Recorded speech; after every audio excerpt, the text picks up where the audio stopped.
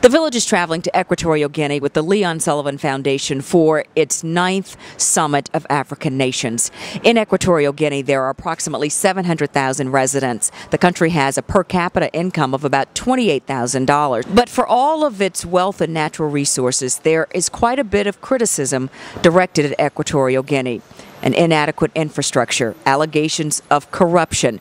We will take a look at all of those allegations. The village hopes to introduce you to residents of this small African country. We hope to speak with leaders of the presidential administration and introduce you to those who lead the Leon Sullivan Foundation and hear their reason for hosting this year's summit in a country that has been beset by allegations of corruption. Come with the village to Equatorial Guinea.